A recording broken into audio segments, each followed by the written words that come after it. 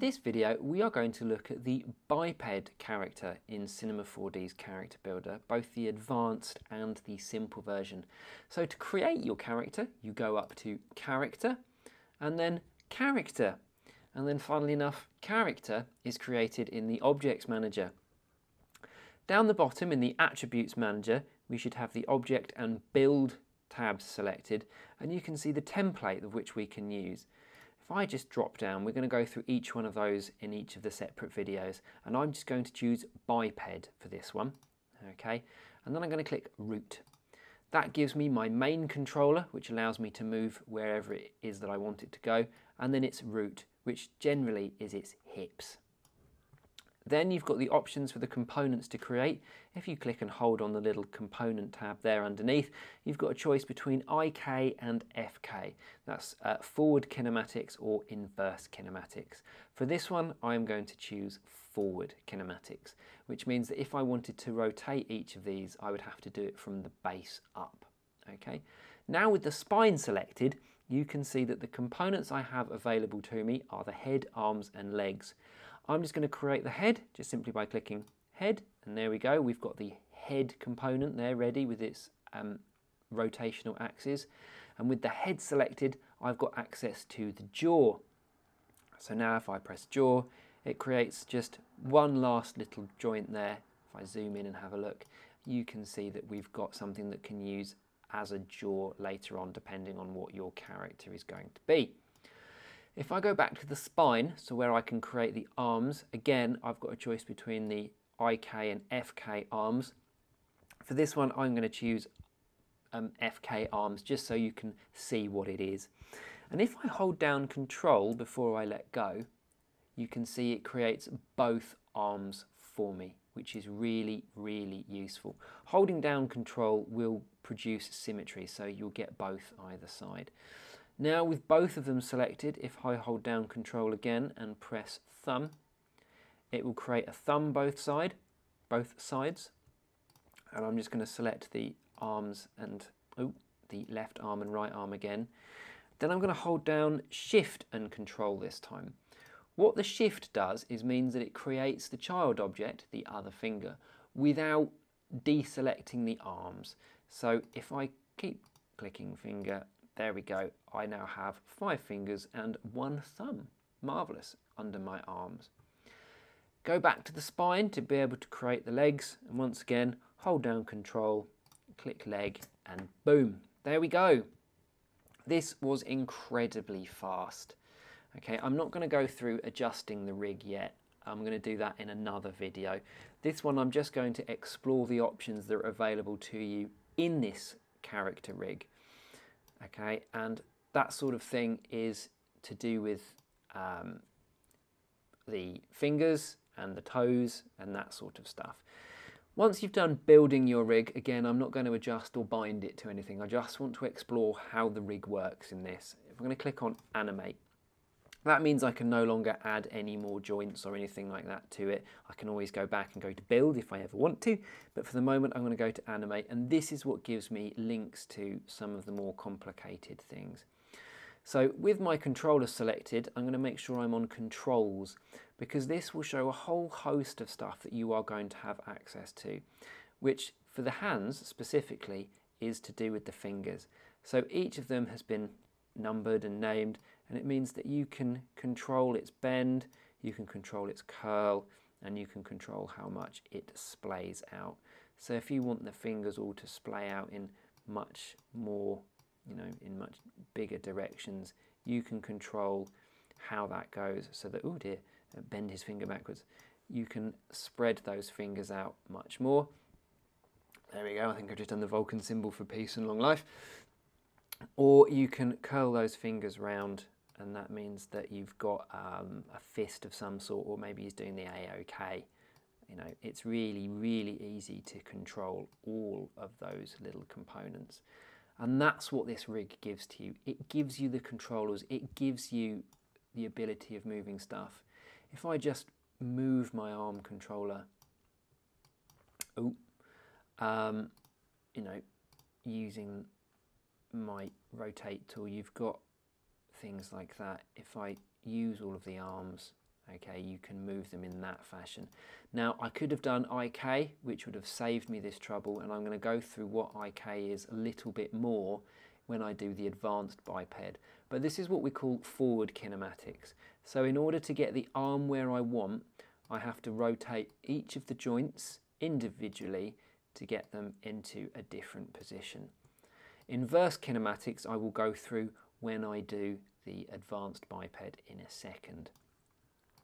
But the legs are going to be uh, IK because that's just the way they're created. You can see that that's really different.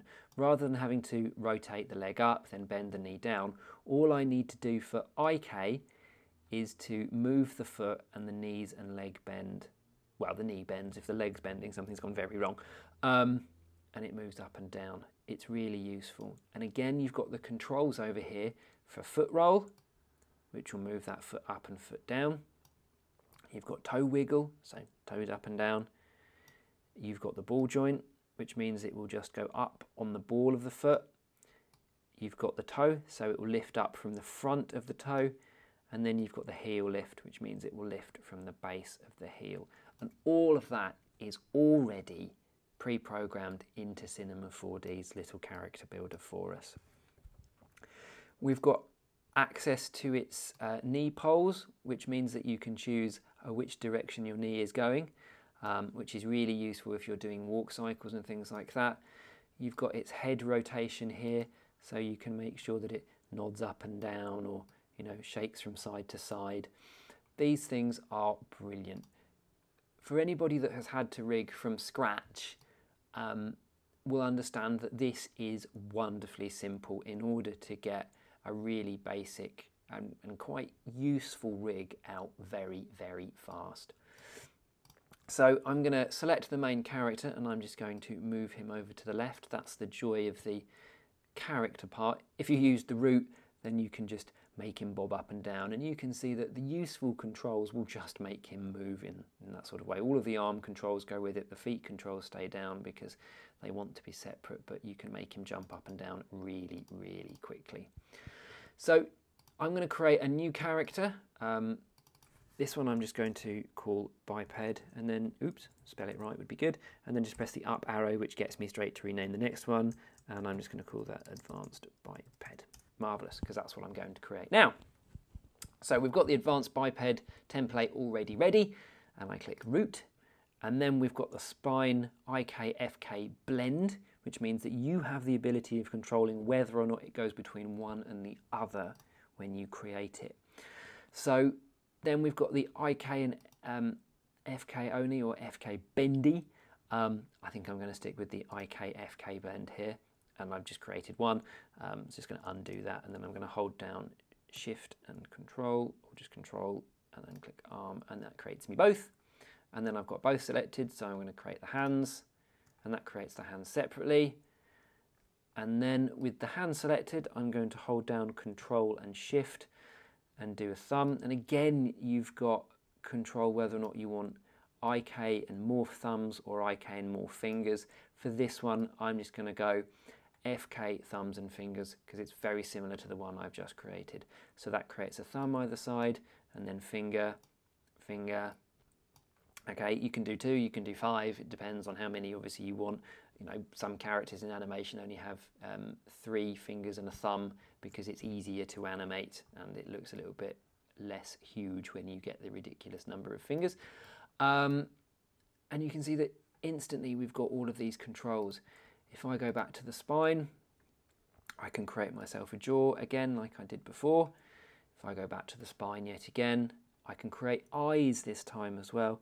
So holding down control, I've got the two eyes, allows you to control eyeball movements um, depending on the rig that you, or the model that you have if you're ever going to rig it. But again, it's already there for you, which is wonderful. Clicking on the spine, I've got access to the legs now. So again, holding control, boom, creates two legs. And if you really want, if you want to go absolutely crazy, you've got toes. So holding control and shift, I can create a few toes that it will work its way around those feet. So my poor little character here has got five toes, um, but only four fingers. That's fine. It's a very interesting character. Marvellous. So instantly, once again, if I go to animate, we've got access to all of its controls. Using the move tool, if I grab that hand controller now, we've got the ability of moving that and the joints move in a way that allows that hand to be rotated and moved up. So I'm only having to worry about that and the rest of the joints figure itself out. As before, if I select one of my little fingers there, um, I've got access to how much it rotates and how much you can get the character to bend if I created, no I created a forward K, FK, sorry. So I'm going to have to do that manually so you can, you know, each rotate each of those. And if I didn't like it, if I wasn't happy with the way that that had been created, I can simply go back to the hand. And let's do it actually. I'm going to delete all of those by going to the object and then build and then I'm going to select those and delete. I no longer want that. And let's say I want um, IK and morph thumbs and fingers. So I'm going to create an IK thumb and then I'm going to create IK fingers. Boom. Now if I go to animate, the hand puts itself back to where it was. I look at the controls and again, there you go. You've got access to all of those controls. Knuckles, different segments, whether or not you want it to be bent from segment one, segment two, whether or not you want to curl it all in one go, whether you want to scrunch the fingers up so that they're moving up and down the knuckles. This thing is brilliant. Again, if I go down to the feet, you've got wonderful access to all of its knee twists. So you've got access to how much it twists in and out. Again, the foot roll, the ball rock, okay. Um, individual controls, ball and heel and things like that.